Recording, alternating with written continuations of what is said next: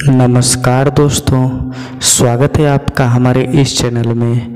आज के इस वीडियो में हम जानेंगे कि अल्लाह मियाँ की गाय मुहावरे का अर्थ और उसका वाक्य प्रयोग क्या होगा। तो चलिए जान लेते हैं। अल्लाह मियाँ की गाय मुहावरे का अर्थ होता है सरल प्रकृति वाला। इसका वाक्य प्रयोग होगा, रोशन तो अल्लाह मियाँ की गाय है।